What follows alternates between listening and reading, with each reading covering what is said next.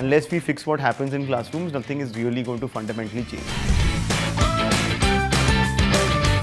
There are a lot of organizations today, large foundations, international and domestic, that will match your corporate pay.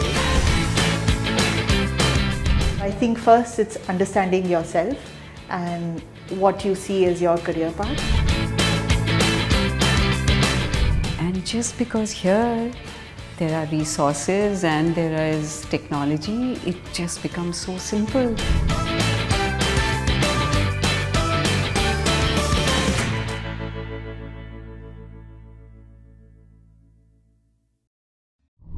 you could have done anything. You could have been with, you know, what our friends do at, at a hedge fund, venture capital, private equity, investment banking. Why did you like leave all of that and start a non-profit to help children learn? I think the only thing that was missing in all of this was a sense of happiness. Uh, I really was struggling to go to work um, every single day of my life, whether it was in America or in Bombay or back in Delhi, because I didn't enjoy what I did. Um, I had no passion for what I did. I couldn't care less whether I was at work or not. In fact, I'd find ways to not show up in the office because it was so boring.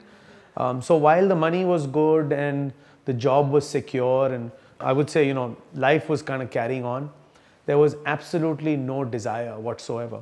I think the sheer um, relative pointlessness of what I was doing sort of hit me, right? I was like, you know, what, what, exactly am I doing? Right? I'm going to get up every morning, go do this. The company is excellent. You know, it's going to make a lot of money. I'll get rich, and then what?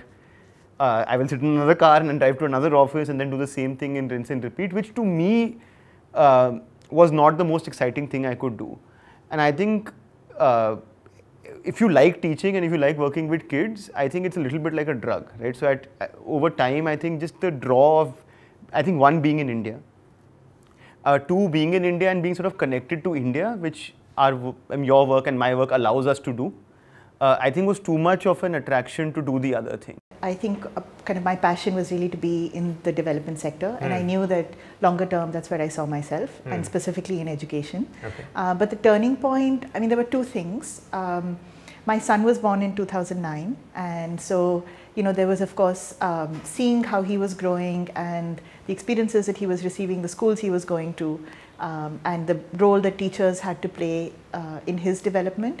And then in 2013, I was um, in my previous organization in the corporate sector. Uh, the turning point was I was just being promoted to managing director, and so that was um, that was a fairly significant uh, turning point because I had to kind of decide where I saw myself long term. Mm. Um, and at that point, I said, well, if I really want to make the switch, I should do it at that point rather than 10 years later. In some ways, I think the prime of our careers has shifted, right? Uh, I think the prime of our careers, genuinely, I believe, is going to be in, when we are in our mid 40s. Like that's by then we would have figured out life and hopefully be in a position where, and at least for me, I feel like you know we can do something really powerful. Um, and I think uh, even purely analytically, the way I view it is, look, I had these 10 years, right, before I had children and, you know, all of that stuff to really work on something which was intellectually deeply stimulating, which was, you know, I could really be amongst the people who was the forefront, forefront of solving a certain problem. Uh, and I can't think of a better setting than this, right? I think there is a bit of a myth when it comes to the social development sector. I think gone are the days where uh, the social sector is a sector where people give up. They give up what they were doing in their previous life. And I think it's still referred to as giving up. Uh, I gave up nothing. I gave up no lifestyle. I gave up no comforts. I gave up no luxuries.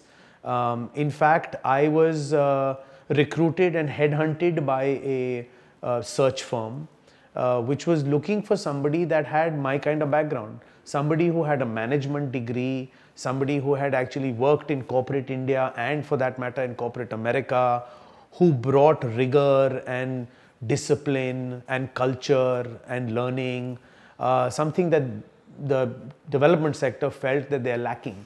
I think the people who have been bestowed with an insurance yeah. That today, even if both of us go out and apply for jobs, we will get something. Yeah. You know, are the people who should take the biggest risks and do something. If you think of FOMO, right?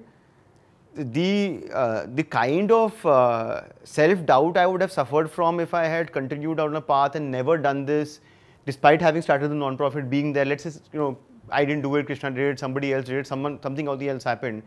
You know, 50 years from hey, you know, I had a chance to be on the you know on, on the ground floor for something and I didn't make that happen.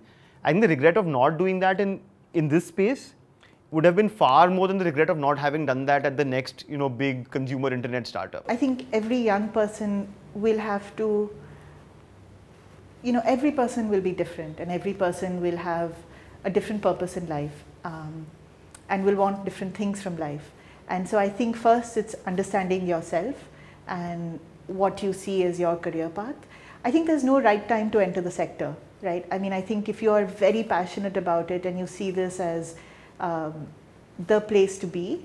There are so many opportunities, right? There is so much exciting stuff that's happening, as you know. Um, but I think it really depends on every individual and what type of life experiences they want mm. to hmm. have. Mm. So some folks may want to try out the corporate sector for a while, like you and. I hmm. had done, right? Hmm. And and help you know and use that experience to build skills that they can bring back to the development sector or to education. I think that's the path that I took. And um, I honestly feel like the, the 19 years in you know, multilaterals, in consulting firms, um, in the finance space, all of those skills are skills that have prepared me for the role I'm playing right now. So I don't think there's a right time. I think it really depends on the person, but regardless of when the individual joins, um, there is just so much to do. You know, I think there's no bigger um, there's no bigger problem to solve right. than improving the quality of education for all kids in India. Being pioneering in this space uh, at this time, you know, when India has just solved the access problem and we're now trying to solve the quality problem and being at least in the room when this is happening, I think is really rare. It's a very, very rare opportunity, right? There's a, the good thing about being for profit is that there's a good chance we'll also make a lot of money off it. There's a chance that might happen. But even if that doesn't happen, right? Let's say even that doesn't happen, it's still a pretty exciting thing to have been part of, right? Right. Uh, I don't know how whether how you think about this, right? I think the comfort though, and I think this is uh, part of the reason why I always am a little humbled by our own backgrounds, right? Which is that I think I, the part that allows me to sort of enjoy this without stress is the realization that look, you know, let's say this goes really badly, we are still going to be really wealthy, right?